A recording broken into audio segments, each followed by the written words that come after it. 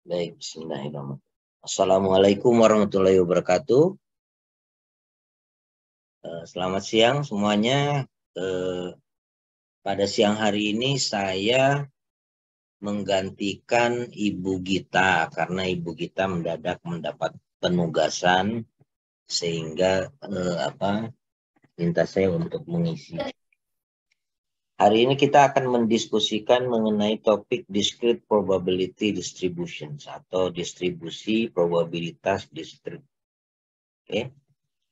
Eh, nanti kita akan lanjutkan bagian sorenya diisi oleh teman-teman asisten untuk konsultasi kalau ada pertanyaan-pertanyaan mengenai uh, exercise mingguan ya. Jadi nanti Mas Mas Amin sama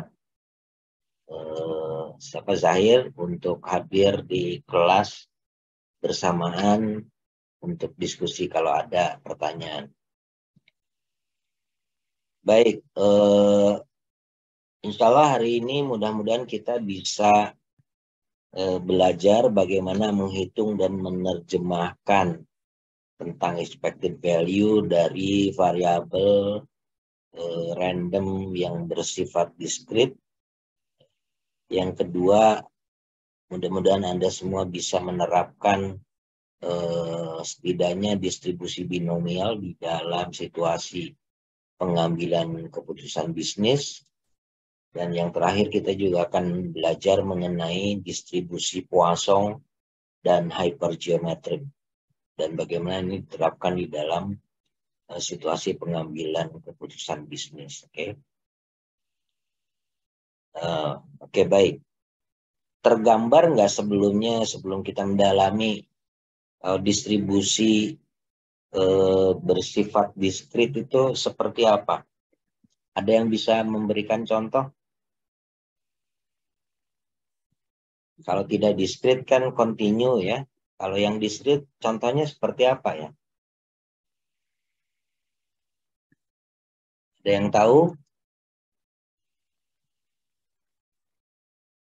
Contoh misalnya ketika Anda memeriksa eh, kualitas dari produk gitu ya. Jadi produk itu misalnya apakah itu mobil atau apa pun yang Anda Eh, hasilkan dari perusahaan itu kan sifatnya biasanya diskrit ya kecuali kalau jasa gitu kan e, kalau produk-produk barang itu biasanya sifatnya diskrit misalnya berapa jumlah barang yang defect atau tidak gitu kan. Kemudian e, berapa jumlah kontainer dari e, material yang anda periksa. Itu kan sifatnya diskrit karena kontainer pasti bisa kita hitung ya.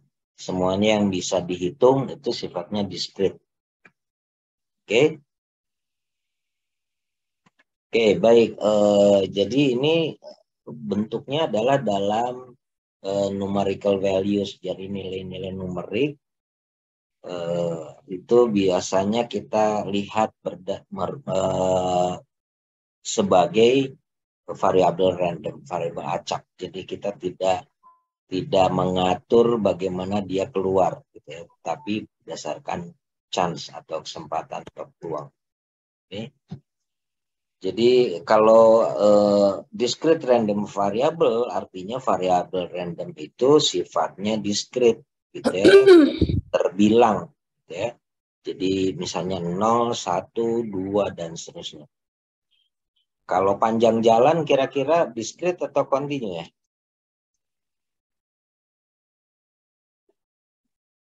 Kalau panjang jalan pasti continue ya. Kan tidak ada penggalan jalan. Oh, jalan misalnya jalan di Ponorogo itu satu, jalan yang lain dua gitu kan nggak gitu ya. Jadi misalnya dalam eh, kilometer satu koma sekian dan seterusnya itu sifatnya continue. Oke, baik. Eh, discrete random variable. Jadi ada beberapa kemungkinan dari outcomes-nya. Misalnya eh, berapa jumlah komplain per hari yang diterima oleh sebuah perusahaan. Kemudian berapa jumlah televisi yang dimiliki oleh eh, sebuah rumah tangga gitu ya di kecamatan mana gitu kan atau kota apa dan sebagainya.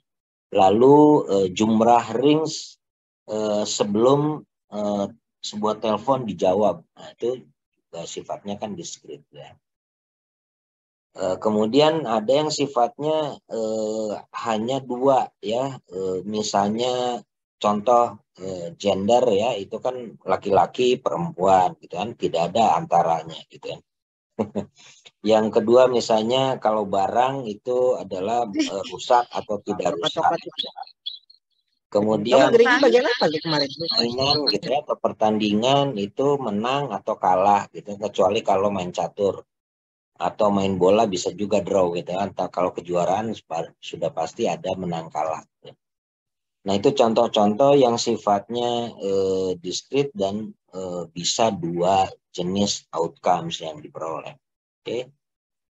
okay, uh, misalnya kita berhadapan dengan situasi seperti ini sebuah real estate eh, itu yang disebut dengan La Quinta di California itu menunjukkan eh, rumah dengan jumlah eh, kamar tertentu gitu ya. Jadi kamarnya itu misalnya eh, entah satu, dua dan seterusnya sampai enam.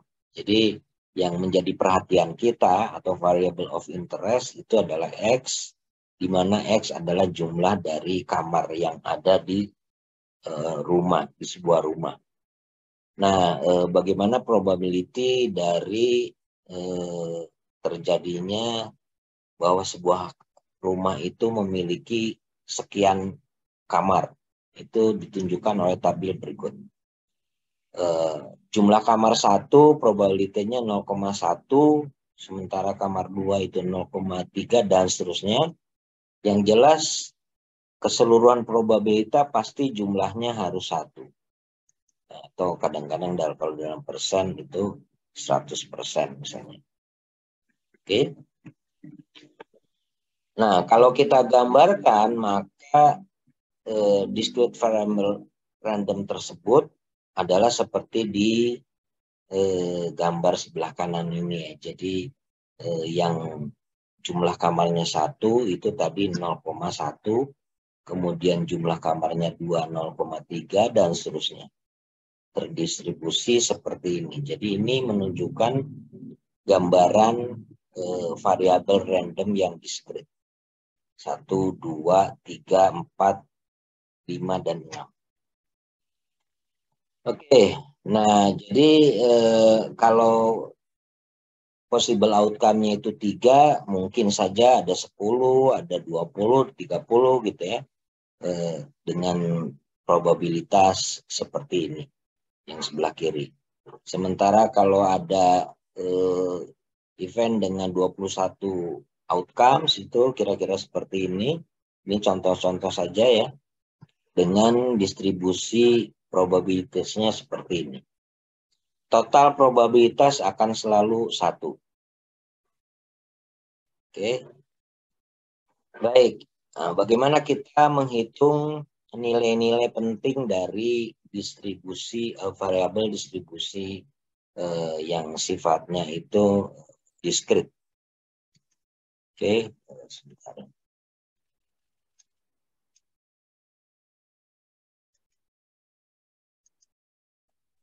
Oke, jadi uh, min atau rata-rata uh, ya di biasanya dihitung Eh, sebagai nilai rata dari eksperimen yang kita lakukan. Jadi minnya itu jadi I, IX di sini itu adalah sama dengan X kali PX di mana X itu nilai dari discrete random variable sementara PX adalah probability dari variabel random tersebut dengan nilai X.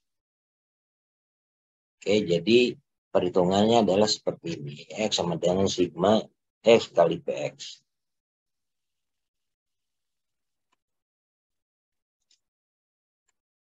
Oke, jadi eh, contoh misalnya jumlah eh, kamar tidur dari contoh yang sebelumnya tadi ya. Eh, jumlah kamar tidurnya dari 1 sampai 6, kemudian probabilitasnya di sebelah kanan, maka expected value-nya tinggal mengalihkan gitu ya 1 kali 0,1 kemudian 2 kali 0,3 dan seterusnya ya kemudian jumlahnya minnya itu adalah jumlah dari XPX jumlahkan 2,85 masih mudah ya? Baik. Kalau ada yang mau bertanya langsung raise your hand ya.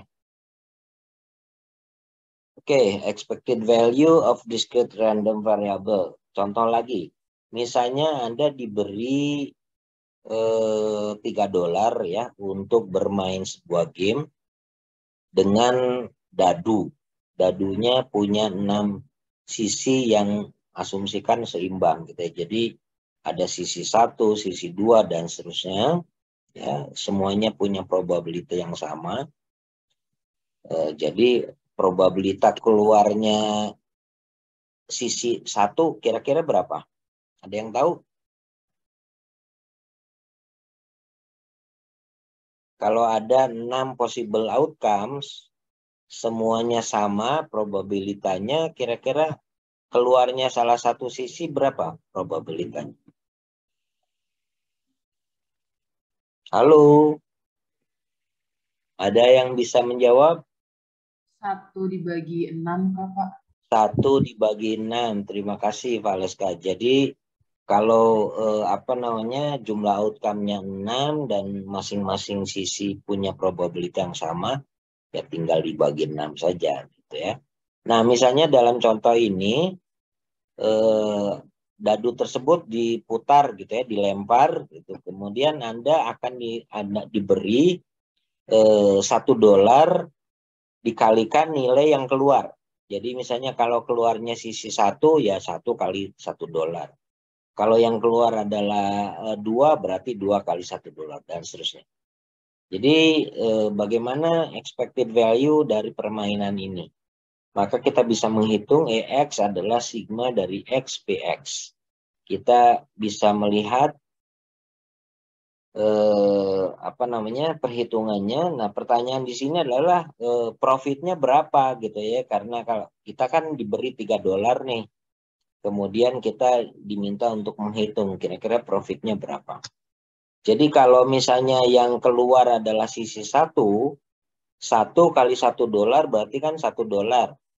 Padahal kita diberinya 3 dolar, artinya kan rugi ya. Rugi 2 dolar dong, iya enggak? Karena hanya dapat satu dolar, padahal kita diberi 3 dolar. Kalau yang keluar adalah sisi nomor 2, maka 2 kali 1, dapatnya 2 dolar, berarti rugi 1 dolar, iya enggak? Ya, karena lebih kecil dari 3. Sementara kalau yang keluar angka 3 atau sisi 3, maka kita dapat tiga kali satu dolar berarti tiga dolar kita nggak rugi nggak untung gitu ya jadi nol dan seterusnya ya jadi kita bisa menghitung di sini e, nilai payoff itu dalam hal ini karena yang ditanyakan adalah profit maka selisih apa yang kita terima dengan e, apa yang kita jadikan modal yaitu yang tiga dolar. Oke seperti ini payoffnya kemudian probabilitasnya satu dibagi enam semuanya sama maka tinggal mengalihkan gitu kan. Sebelah kanan itu yang negatif diberi warna merah kemudian dijumlahkan sehingga expected value-nya dari X adalah 0,5 dolar jadi artinya apa rata-rata kemungkinan kita bisa mengharapkan bisa menang setengah dolar gitu rata-rata ya jadi ini expected value artinya. Baik. Oke, bagaimana cara kita menghitung eh, deviasi atau simpangan baku, deviasi standar ya, dari sebuah variabel random yang eh, terdistribusi secara diskrit. Jadi eh, deviasi standar ini merupakan ukuran yang menunjukkan spread atau sebaran eh, dalam sebuah percobaan ya, yang sifatnya diskrit. Hitungannya adalah sigma X sama dengan akar dari sigma X dikurangi EX kuadrat PX. Gitu ya. Jadi DX itu adalah eh, expected value dari X, kemudian X-nya adalah nilai dari discrete eh, random variabelnya, lalu PX adalah probabilitasnya. Oke, nah jadi untuk yang eh, contoh yang rumah tadi ya, kita bisa menghitung eh, sigma EX, sigma X itu adalah sigma XPX yaitu 28 5 yang ini ya. Yang contoh sebelumnya ya. Rumah. Ya, ini jadi X-nya kan 2,85. Nah ini, eh, maka sigma X-nya adalah akar dari X min X kuadrat dikalikan PX. Ya, kita hitung dapatnya adalah 1,195 sigma X. -nya. Oke. Sampai sini masih mudah ya, tinggal menghitung dengan formula yang ada, maka kita bisa menghitung eh, deviasi standar dari variabel random discrete. Kira-kira kalau kita diminta menghitungnya dengan menggunakan Excel masih ingat nggak? Ya tinggal membuat tabel seperti ini ya, yang relatif mudah. Nanti bisa didiskusikan dengan asisten bagaimana ini kita bisa hitung dengan menggunakan Excel. Baik, ada deviasi eh, dengan contoh yang permainan dadu tadi ya, dice game dengan eh, 3 dolar untuk dimainkan modalnya ya kira-kira gitu. Lalu eh, kalau menang maka diberikan satu dolar dikalikan nilai yang keluar. Oke. Kita hitung ya dengan menggunakan tabel yang ini, yang awal ini. maka bisa dikalkulasi mengenai sigma X-nya dengan formula ini. Oke. Jadi eh, diperoleh akar dari 2,923 yaitu 1,71. Kalau dengan menggunakan tabel kita menghitung eh, nilai dari X-nya, nilai X, nilai X dikurangi expected value dari X, kemudian dikuadratkan, ya. Ini tadi ya, X dikurangi expected value X dikuadratkan, dan nilai X dikurangi EX kuadrat dikalikan PX. Jadi kolom ini dikalikan kolom ini. 0,1667 dikalikan 6,25 sama dengan 1,044. Demikian seterusnya. Lalu dijumlahkan, itu kemudian diakarkan. Jumlah ini diakarkan untuk mendapatkan nilai sigma X. Sampai sini bisa diikuti ya? Bisa Pak. Oke, baik. Kalau kalau ada yang ingin bertanya langsung raise hand ya. Oke. Nah, sekarang eh, percobaannya atau eksperimennya dengan melemparkan koin bersisi ganda yang kita anggap atau kita asumsikan seimbang ya. Jadi misalnya Anda punya uang koin dengan sisi dua tentu saja kalau koin yaitu head and tail uh, itu kepala, tail itu ekor gitu ya. Biasanya kan ada kepala burung atau gambar kepala manusia sebagai logonya, lalu di belakangnya angka atau tailnya. Jadi ada uh, kalau karena dua kali itu maka ada empat empat kemungkinan sebagai outcome yaitu tail dengan tail. Jadi yang pertama misalnya tail, kemudian yang keduanya lemparannya juga menghasilkan tail. Atau mungkin yang pertama tail, kemudian kedua keluarnya head. Atau yang pertama head, lalu kedua tail, dan yang terakhir kemungkinannya adalah head dan head. Oke. Nah, e, maka kita bisa melihat bagaimana nilai dari X-nya. Gitu ya. Jadi misalnya kita ingin menghitung berapa jumlah head. Kalau yang tail-tail berarti kan nol. Kalau yang tail dan head atau head dan tail itu satu. Kemudian kalau head-head berarti jumlah tailnya itu eh apalah jumlah headnya adalah dua. Oke, jadi probabilitasnya bisa dihitung di sebelah kanan. Nah ini ada kaitannya dengan eh, kombinasi dan juga nanti ada permutasi. Masih ingat nggak menghitung permutasi dan kombinasi? Halo? Uh, iya Pak, seingat saya kalau yang untuk kombinasi itu uh, dia tuh pangkat N. Jadi misalnya pangkat dari banyaknya jenisnya gitu Pak. Seingat saya ya Pak. Uh, uh, saya belum nanya formulanya, tapi pengertiannya. Apa yang membedakan himpunan dari kombinasi itu apa? Masih ingat nggak? Kalau di permutasi urutan atau sequence itu berperan, ya. Tapi kalau dikombinasi tidak. Masih ingat nggak? Jadi contohnya apa? Misalnya Anda punya PIN, ya. PIN entah PIN ATM, kartu ATM, atau PINnya eh, kunci masuk rumah atau apartemen kayak gitu ya. Kan urutan angka pasti berpengaruh, ya nggak? Betul? Anda nggak bisa misalnya menarik uang kalau pinnya dibolak-balik. Walaupun kombinasi angkanya e, betul gitu ya, tapi urutannya berperan. Nah, itu contoh dari permutasi ya.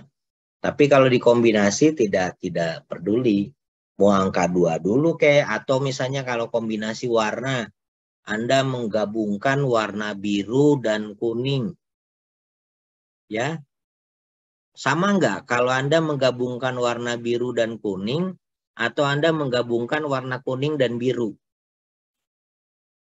Kira-kira sama nggak out outcome-nya? Sama, Pak. Sama ya, jadi pasti sama.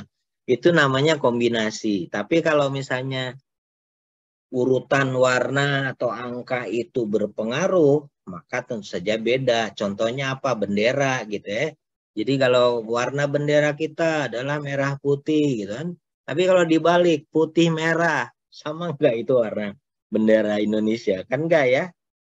Karena urutan atau sequence itu berperan. Uh, ada yang tahu kalau bendera putih merah bendera negara mana? Poland, Pak. Poland, Pak. Polandia. Oke, okay, ya. Baik. Oke, okay, lanjut ya expected value and standard deviation. Nah, tadi contoh dengan melempar uang koin gitu ya. Jadi misalnya X-nya adalah jumlah heads atau kepala. E, dari perhitungan tadi maka expected value-nya itu bisa kita hitung. Gitu. Jadi dari percobaan yang pertama tidak ada head kan nol ya dengan probabilitas 0,25. Sementara yang eh, perjuangan 2 dan 3 itu ada satu sehingga probabilitasnya adalah 2 per 4 atau setengah. Ya, kemudian kalau yang keempat head head itu probabilitasnya itu adalah satu per 4. Oke, jadi kita bisa hitung e, nilai yang tadi ya di depan itu tadi 0 kali 0,25 ditambah 1 kali 0,5 ditambah 2 kali 0,25 sama dengan 1 expected value. Lalu standar deviation-nya juga bisa dihitung dengan formula yang tadi ya. Diperoleh akar dari 0,5 yaitu 0,707. Oke. Baik.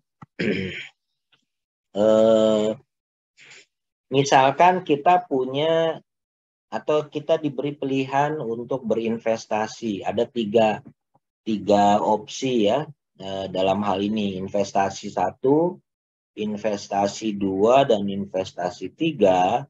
dengan payoff seperti yang ditunjukkan di tabel di depan ini ya. Investasi satu payoff-nya ada 20 dolar, 30 dolar, 40 dolar, 50 dolar dengan masing-masing probabilitasnya 0,25. Sementara investasi kedua seperti yang di eh, kolom kedua, kemudian investasi tiga seperti yang di sebelah kanan. Kira-kira Anda memilih yang mana? Bisa dihitung? Coba. Silakan Anda estimasi dan Anda mau memilih investasi yang mana. Saya kasih waktu 5 menit ya.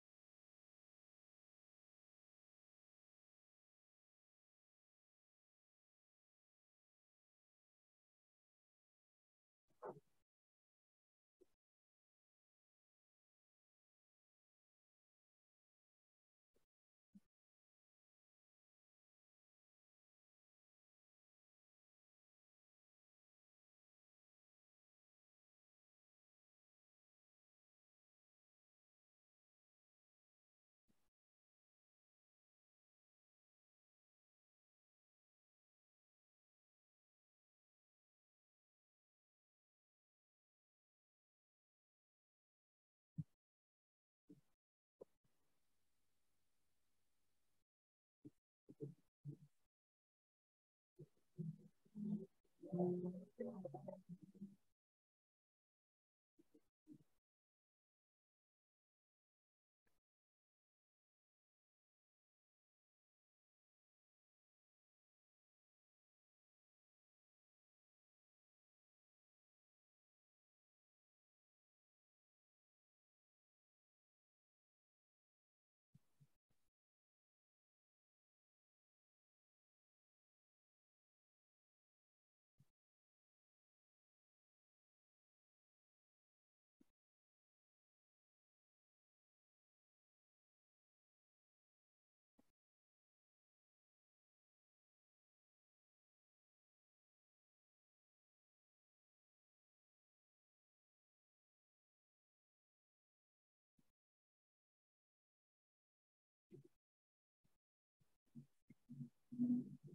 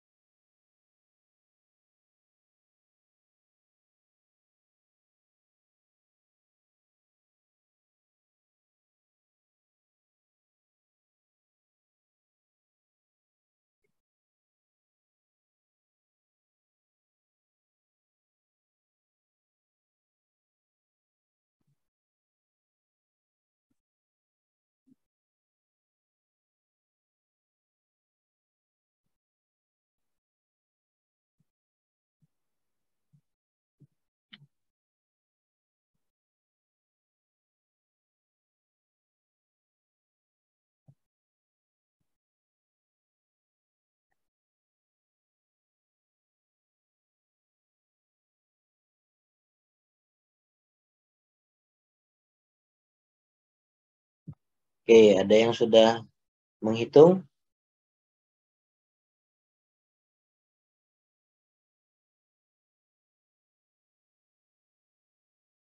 Halo. Ada yang sudah selesai? Jadi kita menghitung apa?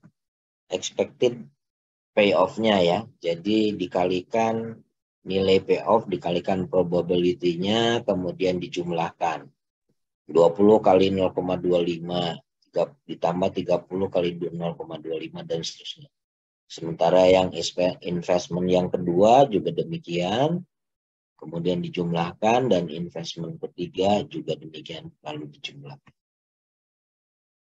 Oke, ini ya. Jadi misalnya, oops, sorry. Jadi eh, eh, untuk investasi pertama seperti ini, maka kita kalikan, ya dapatnya seperti ini XPX, kemudian X dan seterusnya. Dapat expected value dari X-nya adalah 35 dolar. Lalu sigma X-nya akar dari 125 yaitu 11,18. Oke.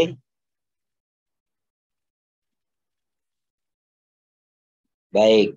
Berikutnya investment atau investasi yang kedua dengan cara yang sama kita bisa menghitungnya expected value-nya seperti ini ya. Kalau expected value kan tinggal mengalihkan kemudian dijumlahkan tadi ya.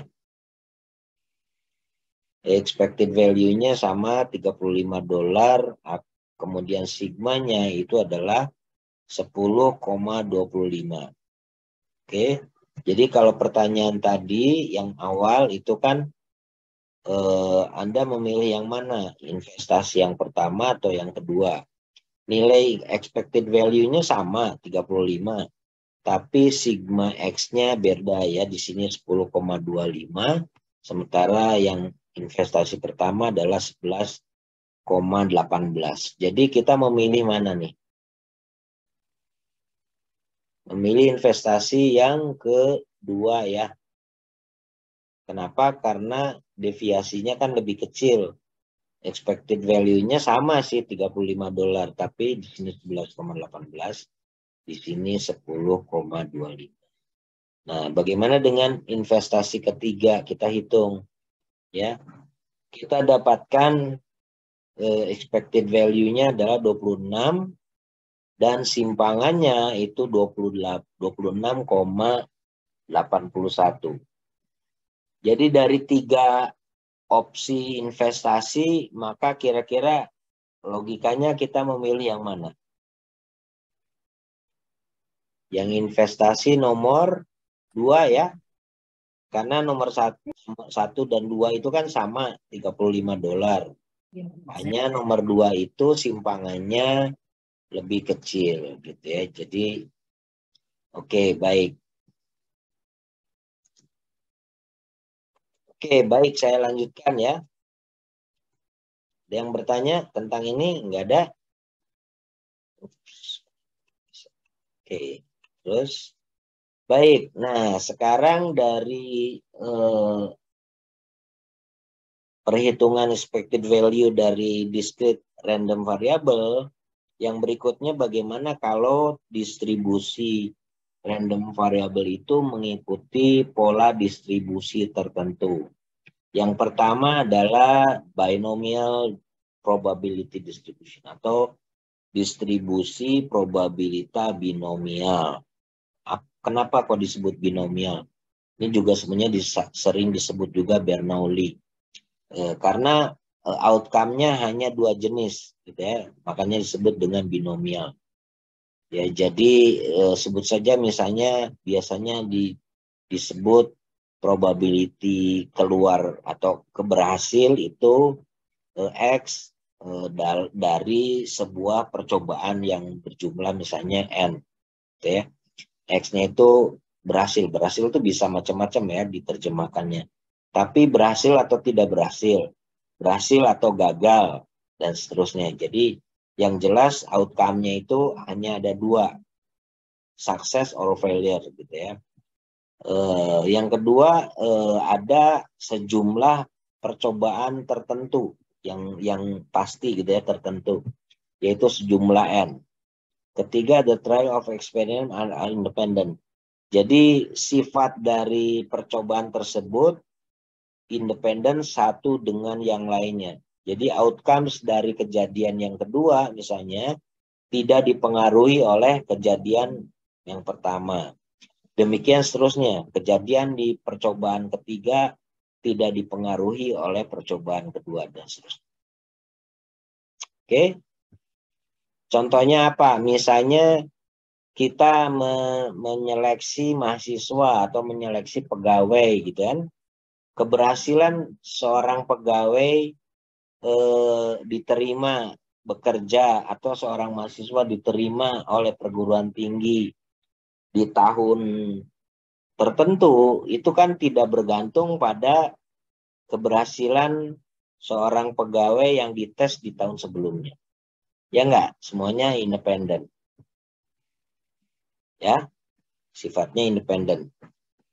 Yang keempat proses itu konsisten. Jadi eh, apa namanya tidak ada perubahan-perubahan yang mempengaruhi munculnya kesuksesan atau kegagalan dari percobaan yang dilakukan. Jadi sama itu ya serupa, persis serupa. Tapi kalau misalnya kita melakukan percobaan eh, dari sejumlah tertentu sampel produk diambil satu gitu ya. Kemudian dari yang sudah sampelnya diambil itu diambil lagi kan e, jumlah peluangnya sudah beda ya. Karena jumlah sampelnya sudah berkurang. Tapi kalau e, batchnya itu tetap misalnya satu satu batch itu isinya 10 produk kemudian kita punya 5 batch masing-masing batch diambil kan tidak berkandung satu sama lainnya ya jadi itu bisa independen dan itu konsisten tapi kalau misalnya dari setiap batch sampling itu kita ambil satu ambil lagi satu itu saja probabilitasnya tidak sama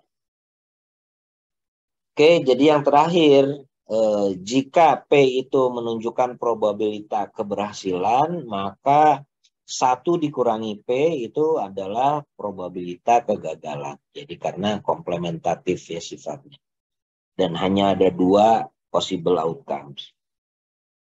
Jadi relatif sederhana, tetapi e, bentuk dari probabilitas binomial itu sering dijumpai dalam bisnis, gitu ya. Banyak kasus-kasus yang mendekati e, atau sama dengan probabilitas binomial. Itu sebabnya eh, probability binomial itu sering kita pelajari karena memang sangat relevan.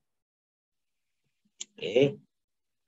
Baik, ini contoh ya. Jadi misalnya sebuah eh, perusahaan manufaktur melakukan pemeriksaan eh, terhadap produk dan pengelompokannya hanya dua, ada dua. Satu produk itu defect atau rusak atau bisa diterima. Kita hanya ada dua itu. Oke, itu termasuk percobaan binomial gitu ya.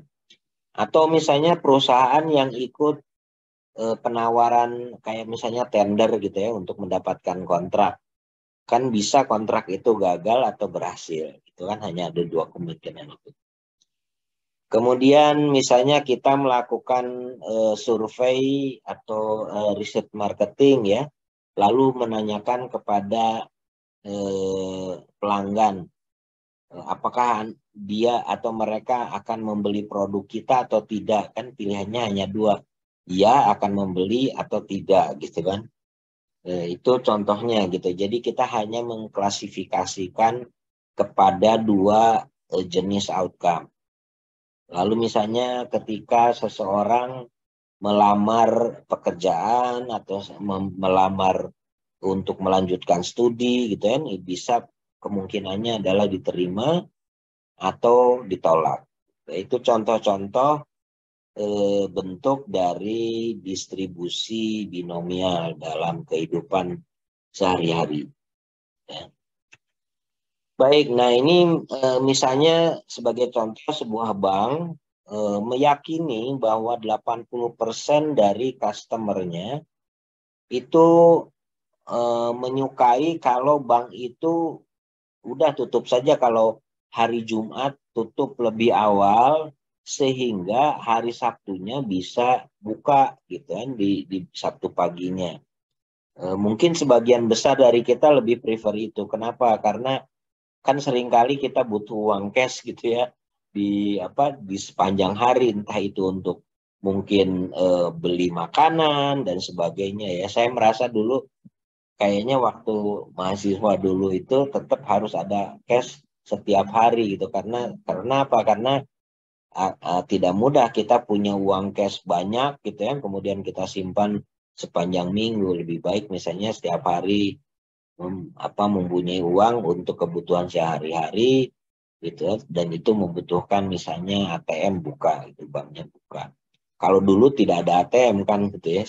E, kita zaman saya ya zaman saya belum ada ATM jadi butuh menyimpan uang e, atau misalnya kita punya akses kepada bank jadi kita prefer bank itu buka. Kalau sekarang kan ATM ada di mana-mana, kita gitu beda ya. Nah, ini misalnya di contoh ini eh, eh, bank menyukai eh, melakukan survei bahwa diperoleh eh, informasi atau data bahwa 80% dari customernya itu menyukai eh, minggu tidak harus buka sampai sore gitu ya, mungkin hanya setengah hari, tapi Sabtu paginya bisa buka. Jadi Kemudian misalnya eh, kita mengambil tiga customer secara random ya, lalu disurvei. Eh, bagaimana distribu, eh, distribusi probabilitas yang akan diperoleh eh, bahwa dari customer tersebut akan menyukai eh, pilihan Sabtu pagi buka. Oke.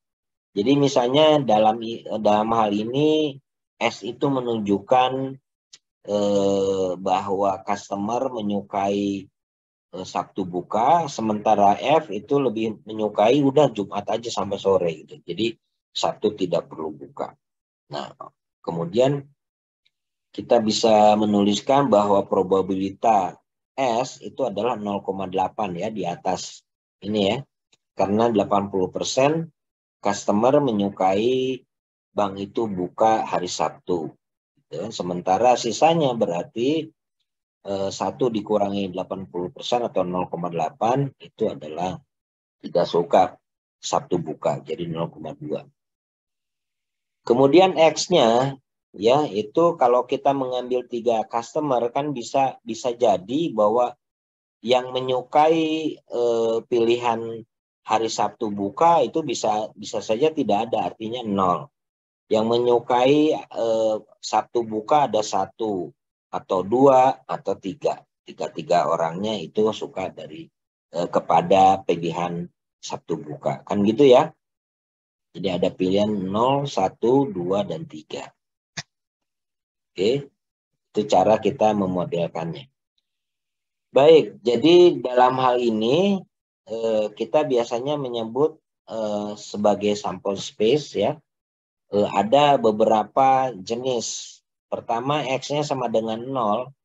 Artinya customer yang pertama di sini ya.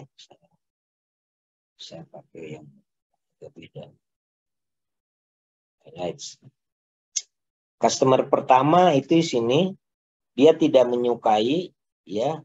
Kemudian ternyata ketika ngambil yang kedua itu juga boleh jadi dia tidak suka dan ketiganya itu juga tidak suka. Maka X sama dengan 0 artinya tidak ada customer suka itu adalah FFF. Oke. Karena yang satunya kan S. Kemudian kalau X-nya satu, maka kemungkinan yang pertama suka, kedua tidak, ketiga tidak. Atau yang pertama tidak suka, keduanya yang suka, ketiganya tidak. Gitu. Atau juga bisa pertama tidak suka, yang kedua tidak suka, barulah yang ketiga. Ya, jadi ini adalah apa tadi kombinasi atau permutasi? Halo?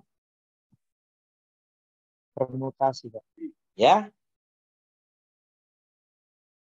Uh, kombinasi kayaknya. Masa? Ayo.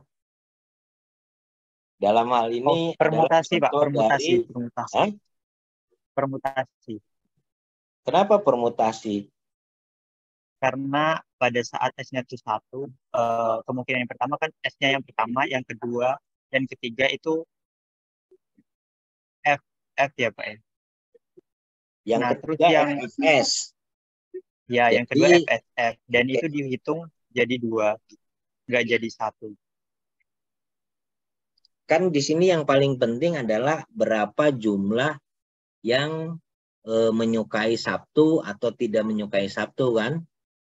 Dalam hal ini kan tidak peduli apakah customer yang pertama atau yang kedua atau ketiga kan? Yang penting X-nya adalah satu. Jadi dalam hal ini adalah kombi Oh, kombinasi. kombinasi karena tidak karena dalam hal ini sebagai contoh di di contoh ini bank tidak perlu apakah itu customer yang pertama atau kedua atau ketiga gitu kan? Jadi yang penting ada yang menyukai. Kemudian kalau yang eh, yang ingin yang menyukainya dua orang berarti kan bisa yang pertama suka kedua suka ketiga tidak suka ya kemudian pilihan berikutnya adalah yang pertama suka, yang kedua tidak, yang ketiga suka. Atau yang pertama tidak suka, tetapi yang kedua dan yang ketiga suka. Gitu kan? Ini adalah contoh dari jumlah orang yang menyukai Sabtu. Ada dua, itu ada tiga kombinasi ini. Dan yang terakhir, kalau tiga-tiganya suka, pilihan Sabtu hanya satu kan, yaitu SSS customer pertama suka, kedua juga suka, yang ketiga harus suka sehingga bisa mendapatkan tiga customer yang menyukai hari. Inilah yang disebut dengan sample space ya. Gitu. Oke, dari kalau keseluruhannya saja populasinya ya. Oke, baik. Nah, sekarang eh, dengan eh, contoh bank tadi ya kita bisa menghitung misalnya tadi eh, probabilitas bahwa eh, menurut data yang diperoleh bank bahwa 80% customer itu menyukai yang eh, Sabtu buka. Oke. Jadi artinya di sini eh, nilai dari PF probabilitas maksudnya ya probabilitas dari eh, customer pertama itu tidak suka, customer kedua tidak suka, dan customer ketiga tidak suka adalah 1,1 dikurangi 0,8 kan? Jadi 0,2 kan? Jadi probabilitas per, customer pertama tidak suka kan 0,2. Kedua tidak suka juga 0,2. Ya enggak? Ketiga tidak suka juga berarti 0,2 sehingga probabilitas terjadinya eh, apa tiga customer itu tidak suka semua adalah 0,2 kali 0,2 kali 0,2. Paham ya? Ya, kan di contoh ini eh, eh, dia mempercayai bahwa 80% customer itu menyukainya kalau kalau bank itu buka hari Sabtu. Jadi kalau kalau demikian yang tidak suka pasti 0,2 dong. Karena satu dikurangi P. Kalau P-nya 0,8. Sehingga di sini perhitungannya tadi ya 0,2 dikalikan 0,2 dikalikan 0,2. Bagaimana dengan PSFF? Ya, di sini kan PSFF. PSFF ini ya, yang ini. Oke, jadi kita hitung saja. Atau PS P uh, PFSF atau PFFS. Sama aja karena apa? Karena kombinasi. Ya, jadi eh, berarti probabilitasnya adalah kalau S-nya pertama 0,8, kemudian yang kedua F itu 0,2, ketiganya F itu berarti 0,2. Demikian seterusnya. Karena di sini OR, sini kan OR ya. Kan kemungkinan adanya X1 itu adalah SFF atau FSF atau FFS. Bunyinya atau. Sehingga keluarnya X-nya satu. Gitu ya. Jadi kalau atau, maka artinya di jumlah. Ingat probabilitas ya, di pertemuan keberapa itu, kan di jumlah ya. Jadi eh, dikalikan 0,8 eh, dikalikan 0,2 kalikan 0,2 ditambah 0,2 kali 0,8 kali 0,3 dan seterusnya. Dengan cara yang sama kita bisa menghitung yang yang ini ya. Jadi 0,2 dikalikan 0,2 dikalikan 0,8 ditambah 0,2 kalikan 0,8 dikalikan 0,2 dan seterusnya. Ini ya dijumlahkan. Dan yang terakhir adalah probabilitas dari keluar tiga-tiganya itu menyukai eh, apa namanya eh, satu buka. Oke itu di chat box itu ada kode presensi dari kelas B ya. Jangan lupa untuk mengisi. Oke baik jadi dengan demikian maka probabilitasnya adalah 0,8 dikalikan 0,8 dikalikan 0,8 ya. Lalu kita jumlahkan tadi ya eh, nilai dari eh, x-nya 0, kemudian x-nya itu s-nya eh, 3 ya, s-nya 0 sama s-nya 3 dijumlahkan nilai px-nya adalah eh, 1,6. Sehingga terdistribusi seperti ini di kurva yang sebelah kanan ya. Oke.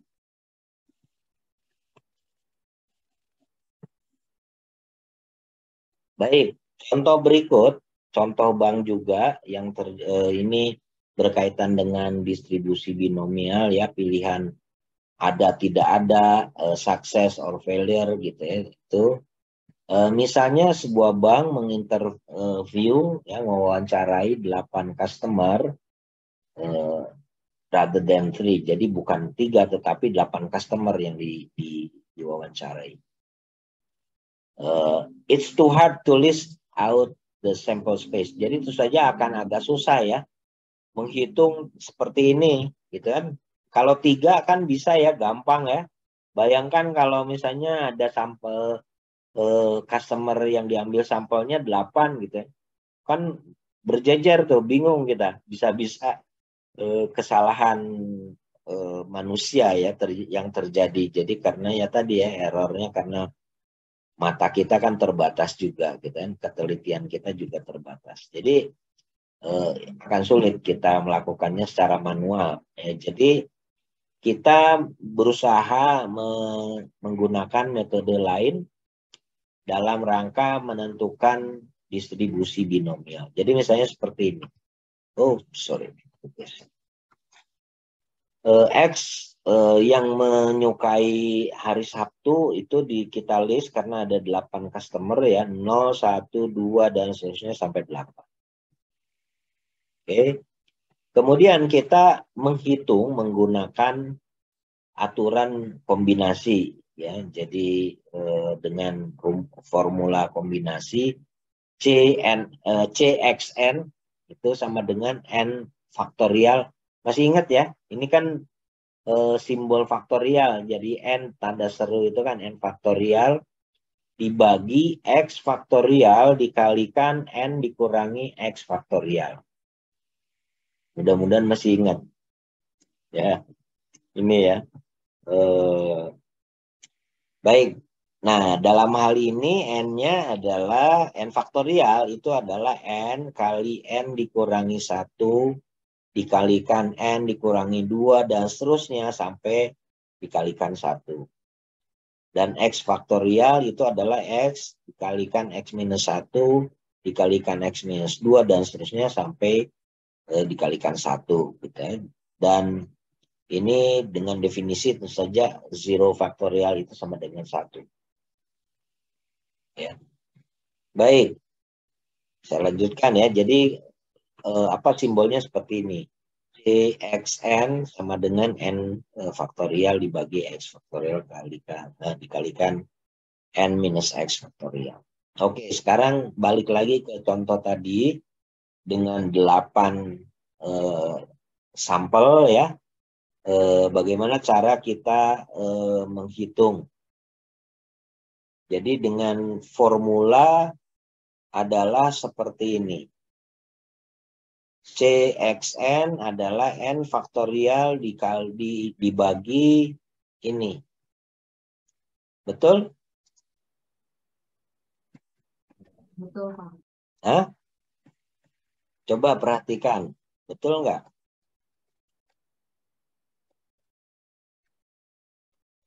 Kalau Anda tidak tidur, pasti tahu salahnya di mana.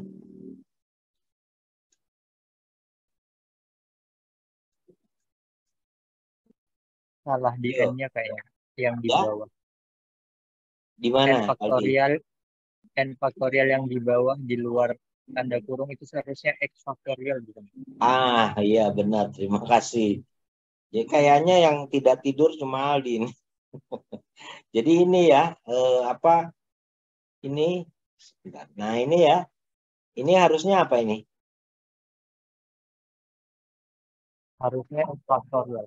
Harusnya X faktorial dikalikan N minus X faktorial. Jadi saya harus ganti ya. Ini saya saya sengaja biarkan supaya Anda paham. Sorry. Ini kok nggak bisa saya rubah ya. Objek.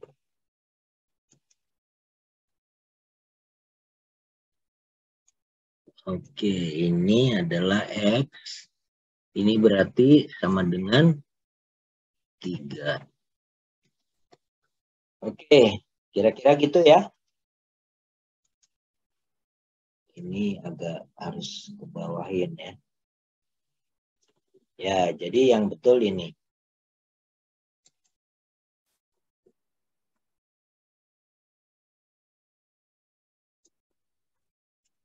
Oke, jadi ya apa boleh buat kalau manual kita harus agak hati-hati dengan membuat formula dan memasukkannya. Jadi ketika Anda menggunakan Excel juga harus agak hati-hati. Tapi sebetulnya distribusi binomial ini ada tabelnya. Jadi Anda dapat menggunakan otomatis dari tabel binomial aja gitu ya. Nilai X-nya berapa, N-nya berapa, yaitu di tabel ada. Gitu ya. Tapi kalau tidak ada, ya pakai formula Excel gitu ya. Jadi harus menggunakan itu. Kalau dulu zaman saya itu pakainya tabel. Setelah itu biasanya kita menggunakan tabel. Baik, saya lanjut.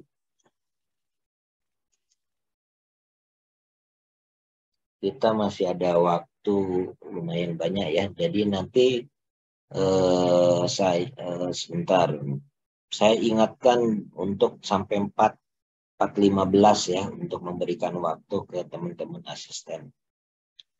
Oke, saya lanjut ya. Nah, sekarang formula binomial itu dengan menggunakan eh, formula tadi ya adalah PX itu sama dengan N faktorial dibagi X faktorial dikalikan N minus X faktorial dikalikan probability-nya. Jadi PX dikalikan Q-nya itu adalah probabilitas dari kebalikan P. Jadi kalau P-nya sukses, maka Q-nya itu adalah failure. Jadi kalau P-nya itu head, maka Q-nya tail gitu ya, kira-kira gitu. Jadi eh, P pangkat X dikalikan Q pangkat N minus X. Oke.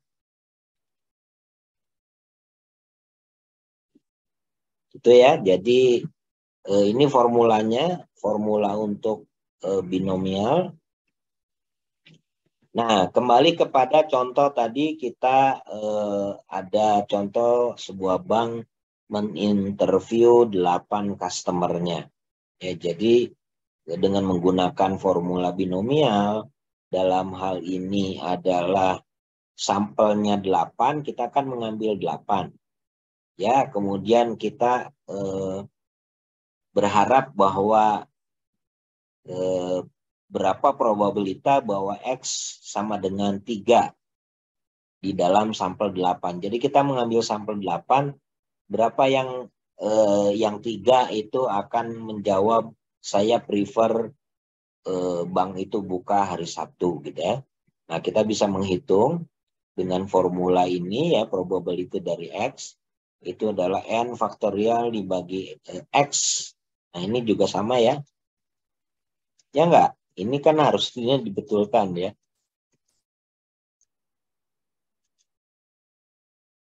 Ini kan harusnya adalah X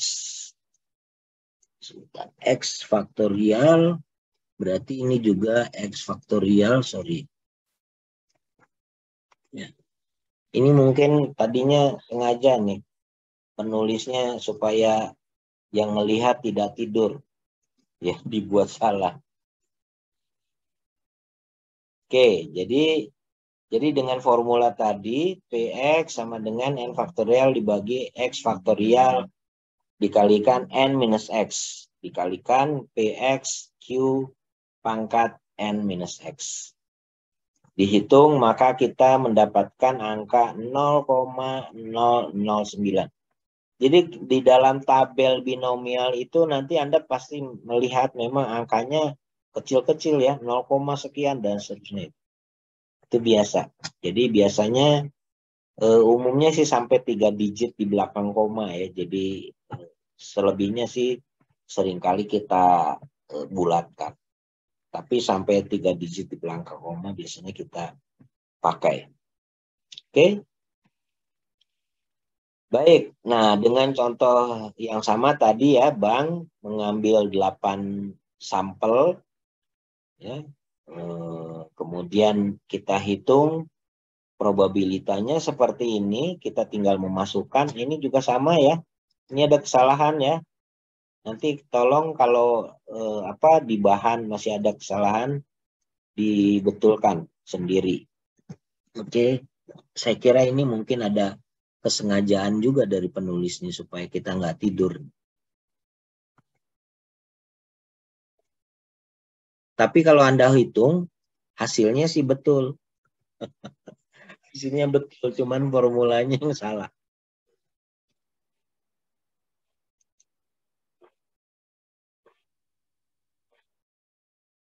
Oke, baik kita lanjutkan. Jadi seperti ini nilainya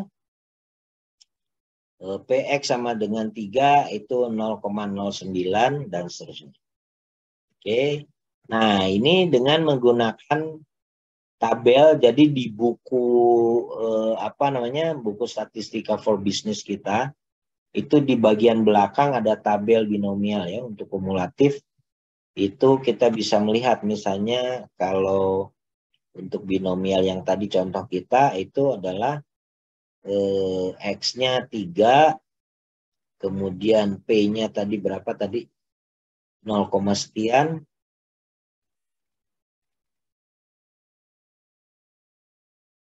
Mana tadi ya?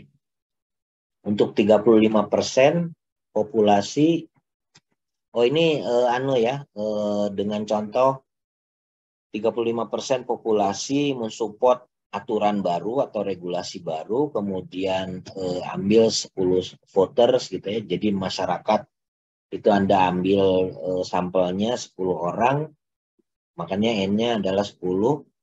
Kemudian uh, diambil berapa kalau tiga atau lebih sedikit dari mereka itu akan mensupport eh, peraturan baru, perubahan peraturan baru.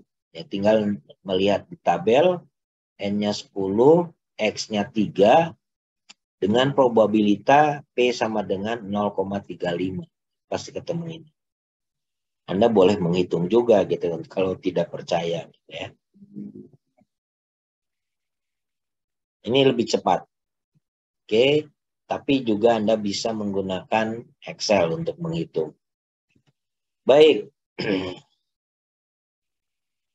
Nah, eh, bagaimana kita bisa mengukur atau menghitung eh, probabilitas persis dari tabel binomial. Jadi misalnya kalau kita ingin tidak kumulatif eh, dua atau kurang gitu, ya, tetapi dua persis. Jadi ada dua orang misalnya dari contoh, oke okay, ini ada contoh ya.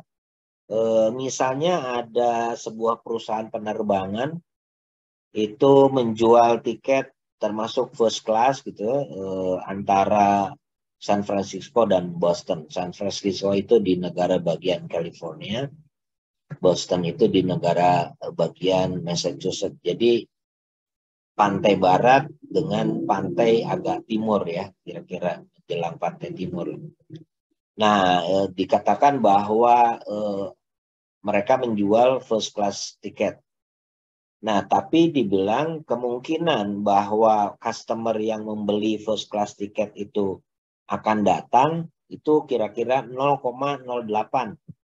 Boleh jadi ini data dari previous history ya. Jadi eh, yang sebelum-sebelumnya dari pengalaman sebelumnya tercatat kemungkinan orang yang membeli first class tiket itu adalah 0,08. Oke. Okay. Misalnya saja mereka bisa menjual uh, first class tiket itu ke 10 orang ya untuk penerbangan yang akan datang. Nah, pertanyaannya berapakah probabilitas bahwa akan ada dua orang yang tidak akan datang ke airport untuk terbang? Ya, maka artinya dia adalah PX sama dengan dua persis dua gitu ya eh, penumpangnya adalah dua, yaitu PX less than 2 dikurangi PX less than 1. Jadi PX kurang sama dengan 2 dikurangi PX kurang sama dengan 1. Karena yang kita bisa dapat dari tabel itu adalah yang ini kan? Ya enggak? Tabel binomial kumulatif kan yang ini. Ya, yang ini ini adalah kumulatif. Ya, jadi misalnya PX di sininya 3 itu artinya 3 atau lebih kecil dari 3. Jadi ada 3, 2, 1, dan Oke, jadi kalau dalam hal ini persis 2 berarti probabilitas X lebih kecil sama dengan 2 dikurangi probabilitas X lebih kecil sama dengan 1. Tinggal nanti di, di, dilihat di tabelnya. Ya, jadi misalnya di sini probab eh, dengan n10 tadi ya, kemudian x-nya ada ada dua dan satu, maka kita tinggal memasukkan probabilitas x sama dengan dua adalah probabilitas x lebih kecil dari dua sama dengan dua atau lebih kecil dikurangi probabilitas x sama dengan satu atau lebih kecil. Oke, jadi jadi nilainya di sini 0,9599 dikurangi 0,8121. Dapatnya adalah eh, 0,1478. Oke, sampai sini eh, bisa mengikuti? Bisa, Pak. Bisa ya, baik. Saya lanjut ya. Oke, jadi eh, agak sedikit kembali kalau tadi di distribusi diskrit secara umum, maka di sini kita menghitung min atau eh, apa rata-rata dari expected value ya yaitu eh, EX itu dalam distribusi binomial formulanya adalah N dikalikan probabilitas. Sementara deviasi standarnya adalah akar dari NPQ. Di mana N itu jumlah yang kita ambil, jumlah sampel, kemudian P itu probabilitas sukses, Q-nya probabilitas failure. Mudah ya?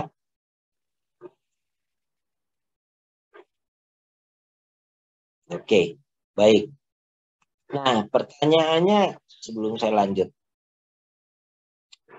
Kalau di sini kan kita tahu ya, tinggal menghitung saja. ya eh, dengan formula yang ada.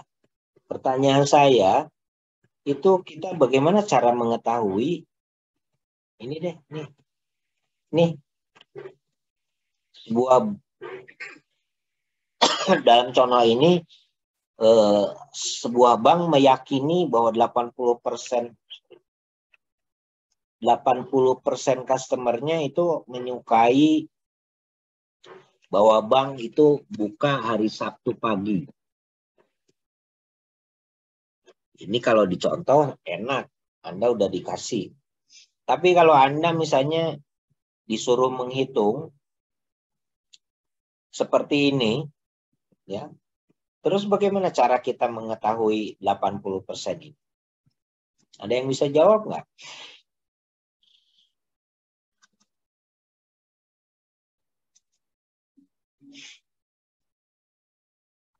Halo? Dalam contoh soal ini, katanya bank meyakini bahwa 80% customernya itu e, menyukai bahwa bank buka Sabtu pagi, tidak usah buka Jumat sampai sore gitu kan. Tutupnya lebih lebih cepat nggak apa-apa deh. Data itu dari mana ya? Apakah bank itu pergi ke dukun gitu? Hah? Ada yang bisa jawab nggak?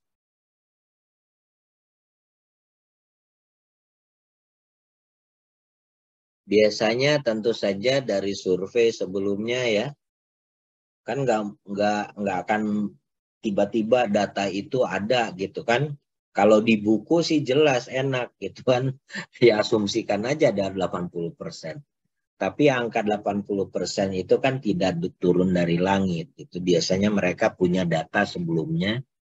Oh, dari pengalaman atau survei atau marketing research itu kita bisa mendapatkan data seperti tadi.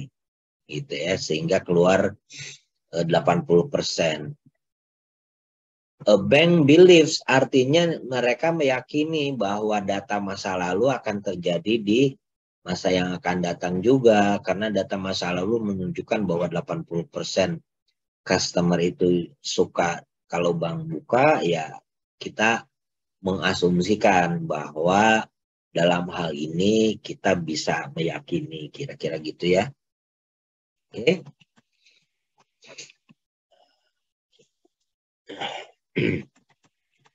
Baik, saya lanjut. Tadi sampai sini ya. Oh, sorry. Nah, ini perhitungan mean and standard deviation dari distribusi binomial. Oke. Okay. Nah, eh, dengan contoh bank yang sebelumnya tadi dengan 8 customer yang kita ambil ya sebagai sampel, maka kita bisa menghitung probabilitas dari X-nya berapa tadi ya. Ya enggak? Kemudian X, PX, ya di, kalau X dikalikan PX, 0 kali 0, 1 kali 0, dan seterusnya, maka kita dapatkan nilai di kolom ini. Kemudian kita jumlahkan, ya kan EX itu adalah AK eh, berapa?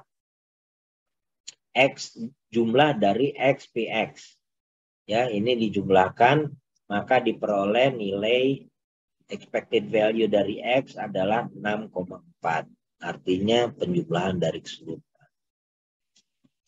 Kemudian kolom berikutnya adalah X minus expected value dari X. Kenapa itu dihitung? Karena untuk menghitung standar deviasi nanti. Ya. Kita hitung, kemudian kita jumlahkan dapatnya EX. E dikurangi EX dikuadratkan dikalikan PX dijumlahkan. Ini dapatnya ini. Maka kita bisa mendapatkan uh, mu itu atau min, nilai min yaitu expected value dari X adalah 0,6 uh, 6,4 kemudian sigma X itu akar dari uh, jumlah ini kan. Ya akar dari 1,275 yaitu 1,13 Maka untuk nilai binomial ini, untuk eh, apa contoh bank ini, dx-nya adalah n kali p. Nah, karena ini kan eh, distribusi binomial ya, sesuai dengan formula ini. Mu-nya adalah n kali p, n-nya adalah 8 di sini ya.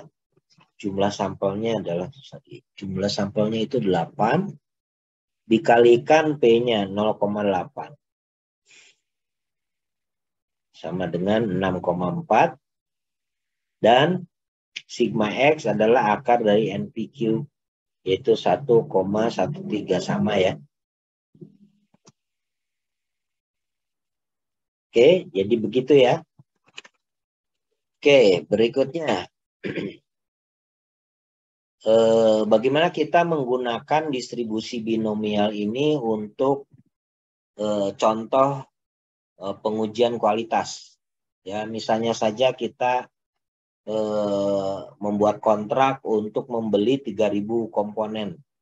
Ya, jadi eh, kalau komponen itu di, dikirim lewat kapal yang baik, gitu ya, eh, defect rate-nya ya tingkat barang yang jelek itu 0,05, sementara kalau pengirimannya itu jelek, maka defect rate-nya itu adalah 0,10. Kemudian sampling plan, jadi rencana samplingnya, pengambilan sampelnya itu adalah 20. Nah, perusahaan mempunyai policy ya selain sampling plan ini adalah kalau X-nya lebih kecil sama dengan satu, maka pengiriman tersebut diterima. Tapi kalau X-nya lebih besar dari satu, maka ditolak gitu ya bagaimana kita memutuskan apakah sampelnya itu diterima atau ditolak. Ya, jadi eh, tujuannya itu kemudian kita menghitung. Di sini ya n-nya kan 20 dengan menggunakan tabel tadi ya. N-nya berarti x-nya itu kita hanya melihat eh, 1 dan 0 ya enggak yang kumulatif kan yang satu. Ini ya jadi kalau eh, pengirimannya itu baik kan defect rate-nya adalah 0,05 di sini. Ya enggak? 0,7 sekian. Nah, N-nya 20, probabilitasnya 0,05 karena pengiriman baik. Eh, P X lebih kecil sama dengan 1 adalah 0,75 7358. Oke. Yaitu kalau pengirimannya bagus. Tapi kalau pengirimannya jelek, ya kita hitung. Defect rate-nya 0,1 tuh.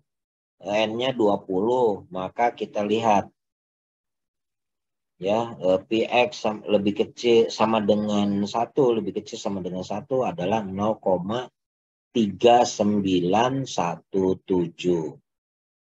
Oke. Ya, jadi kalau bagus itu probabilitasnya 0,7358. Kalau eh, pengirimannya jelek, itu probabilitas eh, bahwa X-nya itu adalah diterima, ya tadi ya, di sini kan diterima ya, itu adalah 0, berapa tadi? 3917. Kemungkinannya ya diterimanya sampel itu bagus. Kalau pengirimannya jelek. Oke. Nah, eh, ini hasilnya ya. Jadi eh, probabilitas menerima good sampling, eh, good shipment, ya, pengiriman yang baik itu 0,7 eh, probabilitas menerima bad shipment itu 0,391. Nah, pertanyaannya menurut Anda kira-kira bagaimana nih sampling plan kita?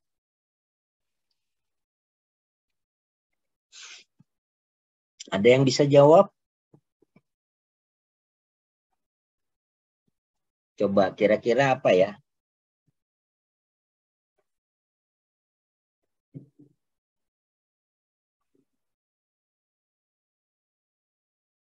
Halo.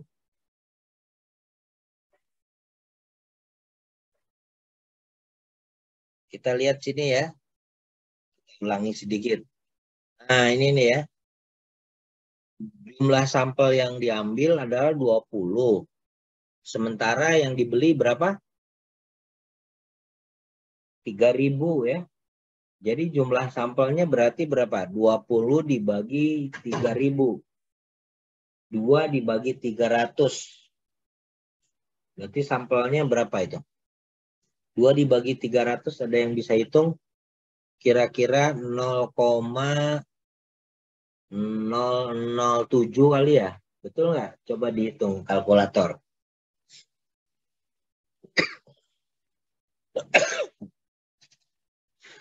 Ada yang sempat menghitung 20 dibagi 3000 0,006 Pak. Ah, oke okay. 0,0066 sekian kan? Kalau kita bulatkan 0,007 lah ya. Dikalikan 100 persen. Jadi 0,7 persen. Kurang dari satu persen. Jadi menurut Anda sampling plan-nya gimana? Kan ketat sekali ya. Ya, jadi kayaknya sih terlampau kecil ya.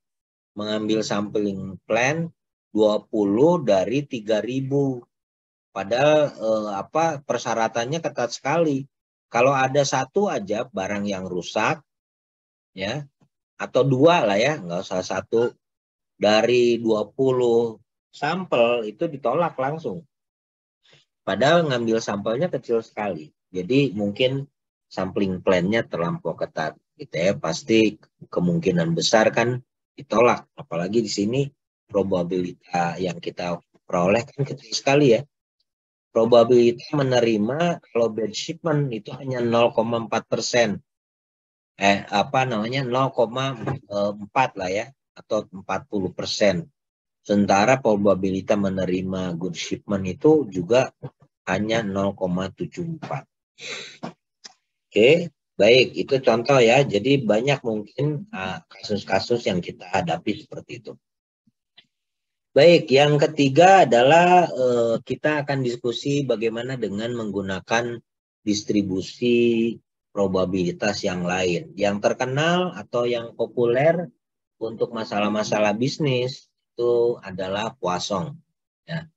E, distribusi Poisson itu biasanya menyangkut e, tentang bagaimana kejadian di sebuah segmen ruang atau waktu atau interval kedatangan. Ya, jadi misalnya Anda berurusan dengan eh, bagaimana kita mengatur jumlah eh, jendela atau kasir pelayanan di sebuah mall gitu ya. Apakah cukup satu atau ada beberapa gitu karena misalnya mallnya laku atau Anda ingin memutuskan berapa eh, loket pembayaran tol di jalan tol ya. Padahal uh, jalan tol itu sangat ramai kan nggak mungkin misalnya ah, udah satu aja pintu pintu pembayarannya wah itu bisa dimaki-maki orang kan bisa macetnya bisa kilometer berapa kilometer gitu ya. Jadi itu merupakan keputusan uh, bisnis yang penting ya uh, mengatur uh, jumlah pelayanan apakah di lini produksi atau pembayaran atau banyak sekali kasusnya. Oke. Nah, dalam hal seperti ini kita perlu mengetahui bagaimana e, karakteristik dari antrian tersebut. Ya, jadi biasanya e, kita mengatur lalu lintas traffic light gitu ya di sebuah perempatan. Itu berapa lama ya harus lampu merah itu menyala, berapa lama lampu hijau menyala itu juga ada pertimbangannya gitu ya. Jadi bagaimana tingkat keramaiannya, bagaimana karakteristik jumlah kendaraan yang datang yang sampai kepada penggal eh, jalan tersebut atau perempatan tersebut atau lampu merah tersebut dan sebagainya. Oke, itu biasanya mengikuti distribusi yang disebut dengan distribusi Poisson ini. Oke, jadi e, karakteristiknya seperti ini. Biasanya kita menggambarkan rata-rata jumlah outcomes of interest itu adalah dengan lambda, kemudian jumlah uh, outcomes of interestnya itu terjadinya acak gitu ya. Jadi karena kita tidak bisa mengatur misalnya orang mengatur masuk ke tol itu hanya boleh satu jam sekali kan nggak bisa gitu ya. Ya acak aja kan. Orang terserah keinginan mereka gitu kan. Mau belanja kan juga gitu kan. Membayar ke kasir itu kan random gitu ya. Nggak bisa diatur.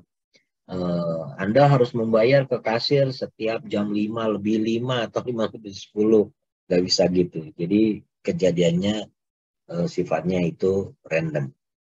Oke. Okay?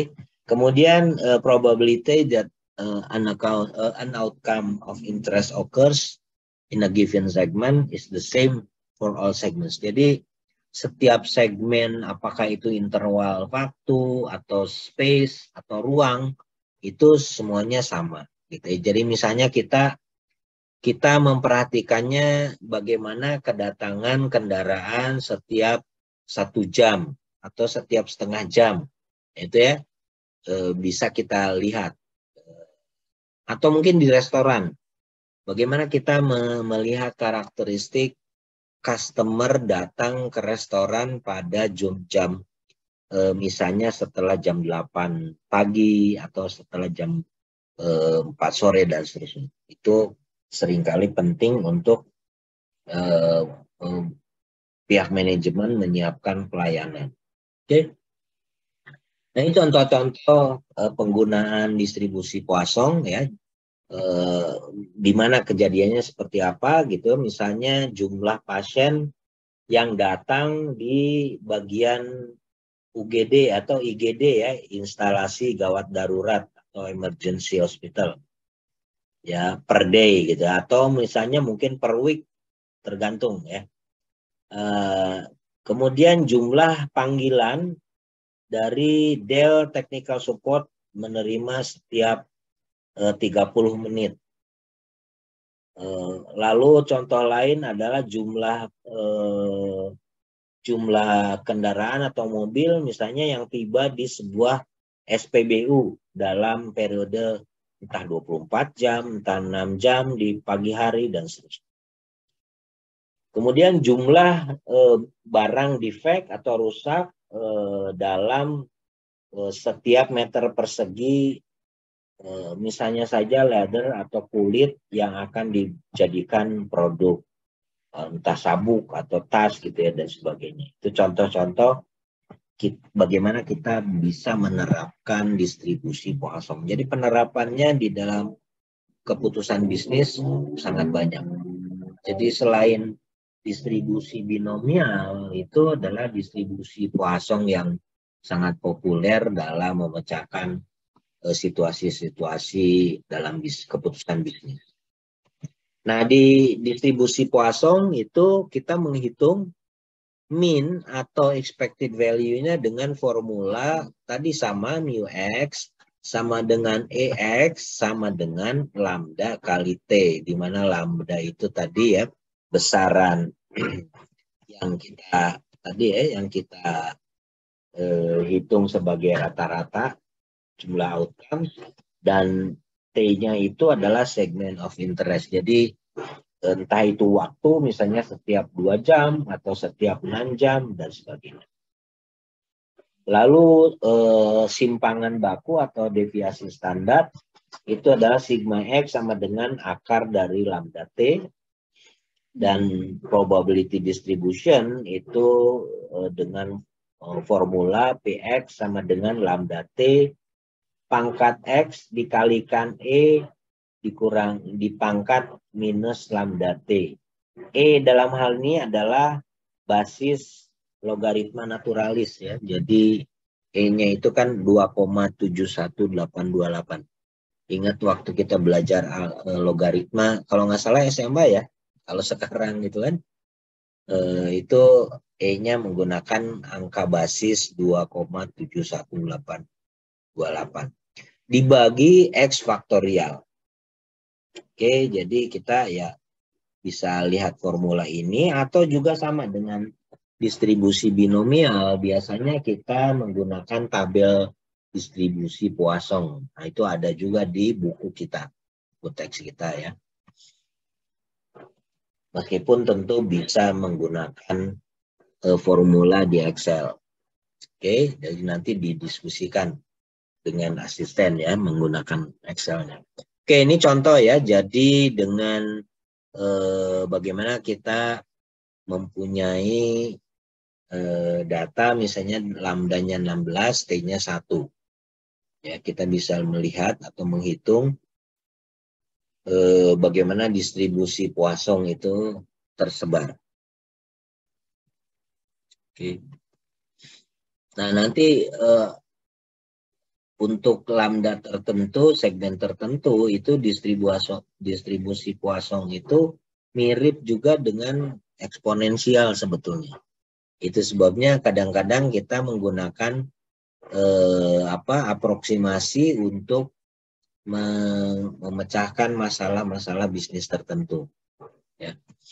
Oke, bagaimana caranya kita menggunakan distribusi Poisson? Pertama, menentukan unit segmennya. Jadi eh, entah itu waktu ya, satuan waktu atau area of space, jadi eh, penggalan mungkin ruang gitu ya, atau mungkin jarak dan sebagainya atau volume besaran tertentu Kemudian menentukan min dari variabel acak tadi. Ya, rata-ratanya seperti apa. Expected value-nya seperti apa. Kemudian menentukan T, yaitu number of X segments to be considered. Jadi, maka kita menghitung lambda T. Dan langkah keempat adalah menentukan event of interest dan penggunaan dari formula Poisson tersebut ya eh, di dalam tabel untuk eh, menghitung probabilitasnya. Oke. Nah ini contoh eh, penggunaan distribusi Poisson Major League Baseball Park. Jadi ini sebuah lapangan baseball ya, liga baseball. Kalau di Amerika Serikat ini sangat populer. Jadi salah satu eh, cabang olahraga yang populer itu antara lain adalah baseball ya. Kalau di Amerika itu antara baseball dan uh, basketball itu nomor satu. Persaingannya adalah dengan football, tapi American football bukan football soccer walaupun soccer itu mulai populer ya, tapi belum lama seperti di Amerika. Oke, okay, uh, uh, Major League uh, Baseball Park itu five customers arrive at a concession stand on average, on average in a 10 minutes. Jadi penggal waktunya adalah setiap 10 menit itu datang 5 customer. Oke. Okay. What is the probability that in a 10 minute period exactly three people will arrive? Jadi bagaimana probabilitas bahwa ada tiga orang yang akan hadir ya pada concession stands. stands. Nah kita menghitung bahwa eh, segmen size-nya adalah eh, 10 menit. Kemudian lambdanya tadi adalah 0,5 ya. Eh, 0,5. 5 ya karena apa karena five customers kemudian T sama dengan satu segmen of uh, one segment of 10 minutes jadi lambda T adalah 5 kali satu yaitu 5 dan dengan menggunakan angka tersebut kita bisa menghitung probabilitas X sama dengan 3 dengan formula tadi ya di belakang ini. Oke. Diperoleh 0,1404. Nah, ini bisa dilihat di tabel juga. Oke, lanjutannya adalah dengan contoh yang tadi ya, kalau dua segmen dari 10 menit bagaimana gitu ya, e, probabilitas e, bahwa tiga orang atau kurang itu akan datang dari dalam segmen 20 menit. Jadi ada dua segmen waktu yaitu dua kali 10 menit. Ya, kita hitung PX lebih kecil sama dengan 3 adalah PX sama dengan 3 ditambah PX2 tambah PX sama dengan 1 dan PX sama dengan 0. Kemudian kita hitung di sini dengan formula yang tadi maka kita peroleh seperti ini. Nah, ini sebenarnya bisa di, dihitung dari tabel. Oke, jadi dari tabel kita bisa melihat bahwa PX lebih kecil sama dengan 3 adalah di sini. Ini tabel kosong ya. Eh, X-nya itu 1, sorry.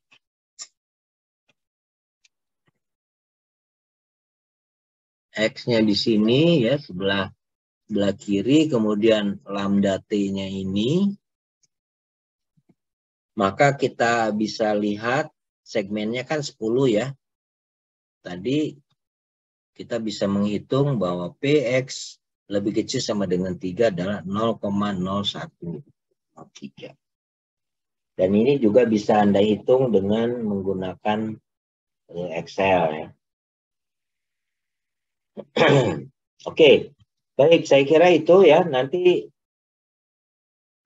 hypergeometrik kita diskusikan minggu depan deh ya